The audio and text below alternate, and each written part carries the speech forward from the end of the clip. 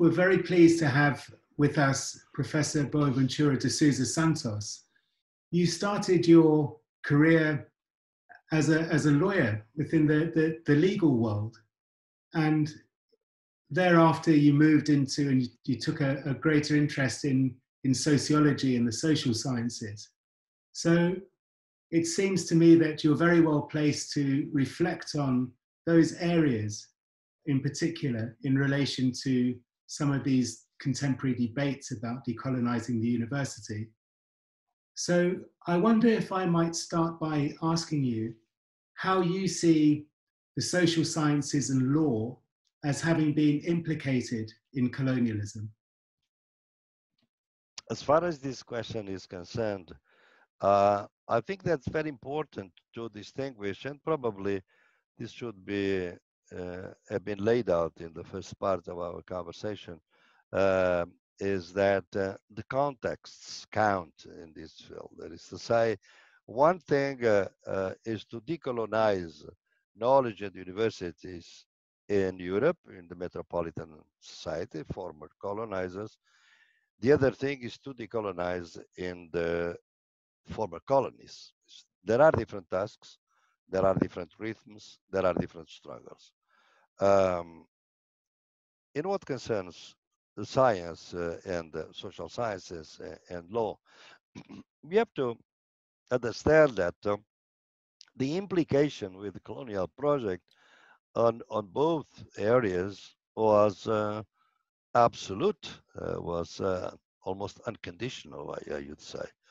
Because you know in terms of law uh, it was precisely the idea that uh, only written law and state law is law that is going to govern not only metropolitan societies but also colonial societies.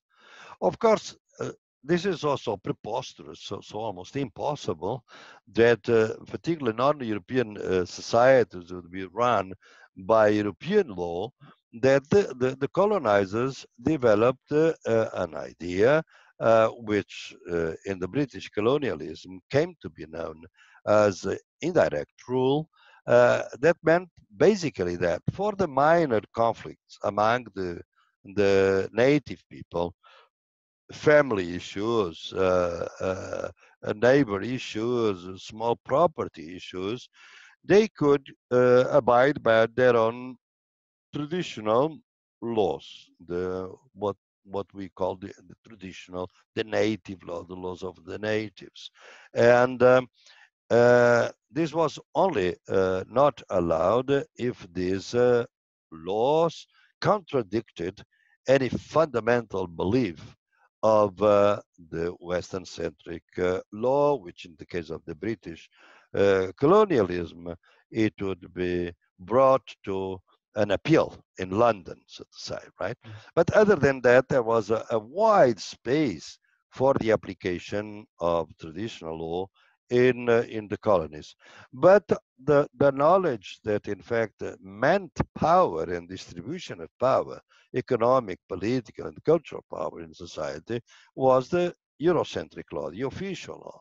So the metrics of the state as the colonial state is basically a modern Eurocentric matrix, a structure and, and a culture.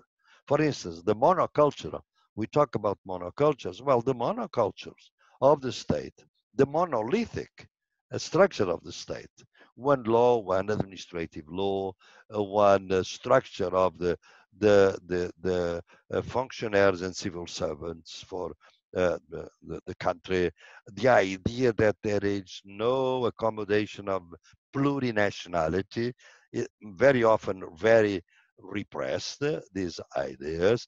All these metrics of the colonial state comes from law, of course, right? So mm. that's why, to a certain, to a, a, such an extent, that after that's one of the struggle today and uh, that's why i was appealing to the different contexts because now in africa for instance or in latin america the idea is the struggle against the colonial state today. That is to say the people that inherited the the state after the liberation struggles after the independence in fact the state was a colonial state And uh, not just by the influence of the former colonizers, but by the structure of the state itself, it reproduced colonialism. Uh, uh I think that uh, Kwame Nkrumah in Ghana was probably the first uh, to mention this in 1965 with uh, his book Neocolonialism. Of course, Gandhi, Mahatma Gandhi, was very much aware of that uh, since 1904 when he wrote the Indian Swaraj. Uh, the, the Indian Swaraj, he wanted another different, another type of state, a non-Western centric type of state, because he knew that uh, uh, this would be detrimental. So this idea of law is, is a law that represses legal pluralism, what we call legal pluralism, the idea that in the same geopolitical space, uh, there, there is more than one law. Uh, there were, as I said, the confines were the confines of the indirect rule, but nothing of that. So they were not uh, on the same foot. There was an hierarchy among the, the law. The social sciences, well, here you can even consider if we take a longer duration from the 17th century, uh, we should also include the human science, that is to say, the humanities, philosophy, theology, and so on, ethics. All these were part of the same package as the social science from the 19th century onwards. And they, in fact, are totally implicated, so much so that when we design the disciplines, the disciplines are uh, abyssal.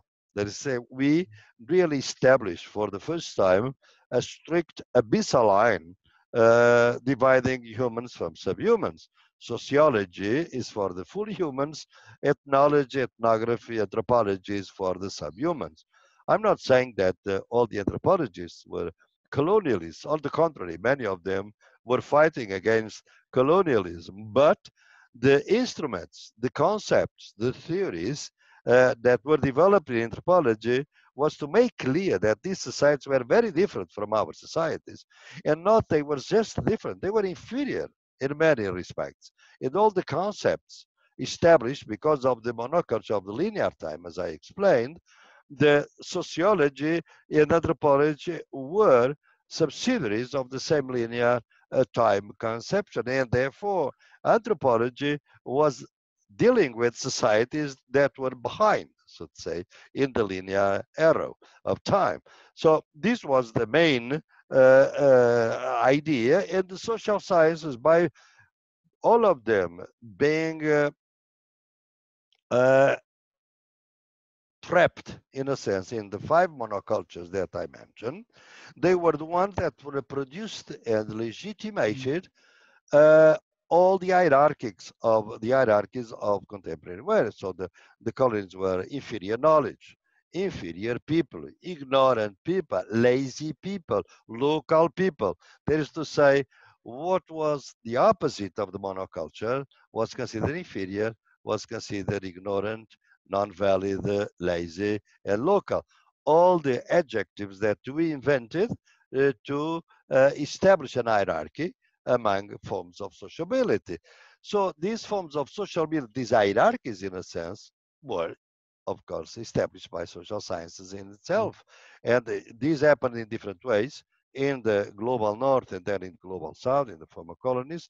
But the idea for many attempts, as you can see in the when we proceed in our conversation, um, the attempt to have to have to do this work of decolonize, not just in Europe, but also in the former colonies, shows the extent to which social sciences were present in both contexts.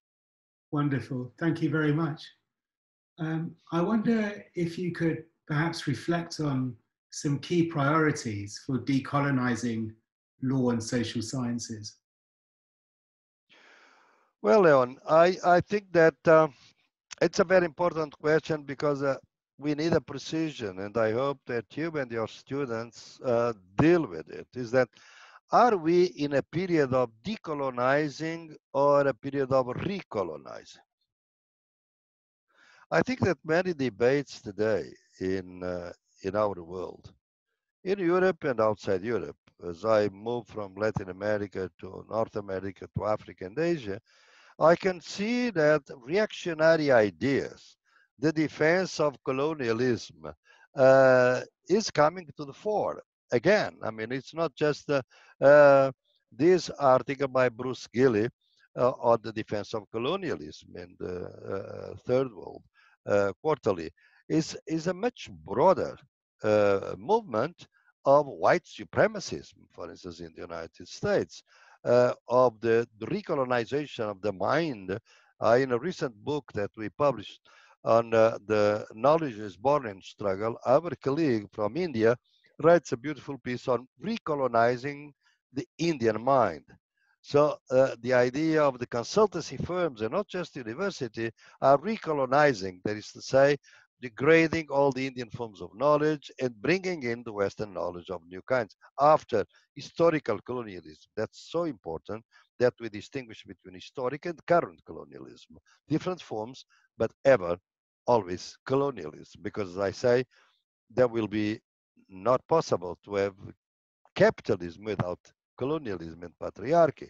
So I think that we are to be very, uh, very determined to uh, get our priorities of decolonizing precisely because it's a countercurrent. Because sometimes we have some victories, we seem to to be, and we know that in Britain, you know, when the statues go down and when different things, it's a victory and a real victory. But we have to see that the broader context in which all this is occurring is is a is a different thing, um, and very much goes in this the sense of recolonizing, not decolonizing. Therefore, I think that, for instance, one uh, uh, uh, dimension of the of this uh, uh, priorities of the recolonizing and the struggle against recolonizing is ranking uh, among universities. I mean, capitalism at university level means basically, among many other things, uh, uh, uh the idea that the knowledge should have a price tag. That is a valuable knowledge. It's knowledge that has a market value. That's new uh, for a long time, the value of knowledge was uh, an autonomous value, value for the sake of, of, of, knowledge, for the sake of knowledge. That was the value. Now, more and more at our universities, they have a market value. The market value is capitalist and therefore brings with it also the colonial issue and patriarchal issue. That's what we talk about recolonizing the, the mind. But the other one is not, when we have the capitalism at the university, we see rankings of universities. All of a sudden, the only developed uh, global universities are located basically in Europe or in the United States, in the north, the global north. All the other universities of the global south are very low uh, placed in these rankings this is uh, is uh, very uh, uh, detrimental to these universities because now is their value is a kind of a quantitative value, quantitative dimension. For tomorrow, if we are going to buy and sell courses in sociology and education and engineer, the price tag upon these courses depends on the ranking of the university, right? But we are also attaching uh, price tags upon our professors. I mean, with uh, all the output uh, uh, fancy that we are, the publish or perish, and uh, not just publish or perish, but the nature of publications. I mean, in non-English speaking world, which is, you know, by far the majority of the world, uh, professors in the faculty are being forced to publish in English. And in fact, in journals, most of them, some 90%, are uh, a property of two or three firms, also located in uh, in the north. So this is uh, uh, makes it almost impossible for professors sometimes to publish in their own language, um, the language of their own countries for which they are responsible for the populations, for the, the struggles and aspirations of those peoples. So I think that we have here uh, the priority of decolonizing is to fight against capitalism at university. Mm. So it is, uh, you see, my conception of capitalism articulated with colonialism and patriarchy uh, means that we have to fight at these uh, uh, uh, broad levels. The priorities in the global north is precisely to fight against capitalism and, of course, to bring in the ecologies of knowledge inside our universities. I think the most advanced forms that I have in my uh, studies and my research in different parts of the world is that we see today, for instance, universities, or even schools of law, that are very much concerned with the ecology of legal knowledges in which they teach the Western centric knowledge, but they law, but they also teach other kinds of, of, of law, for instance. Uh, ecologies of medical knowledges, the idea that there are other uh, medicines other than the biomedic uh, Eurocentric type of medicine. Uh, because uh, if some medicine is good for acute situations, other medicines, traditional medicines, are very good for chronic uh, uh, situations and conditions. So I think that you have to include this ecology, this decolonization of knowledge, the curriculum. We have to bring in not only the affirmative actions vis-a-vis -vis students and faculty, but also the curriculum in the pedagogy. And then there is another priority to which there is not much attention in the global north because the global university, the north in, in the north universities are very much concerned with networking, uh, you know, in Europe, for instance, very clear. And then they have a kind of a paternalistic uh, type of attitude vis-a-vis the universities of the global south.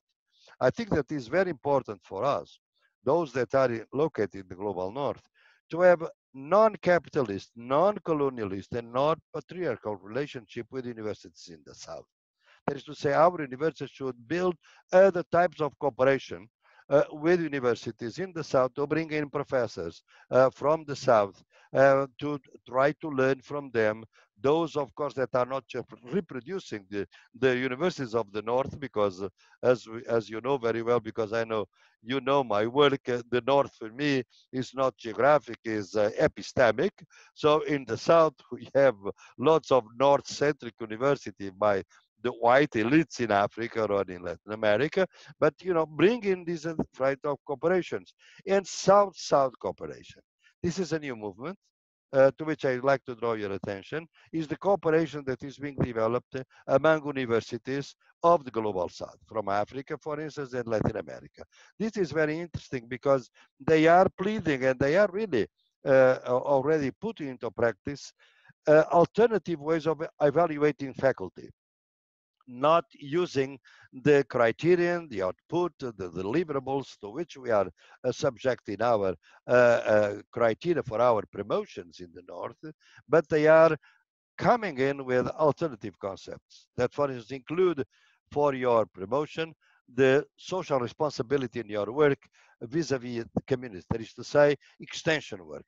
The time that you work in the community outside university counts as university time fully. So this is a new understanding that uh, I think that we have to uh, engage in.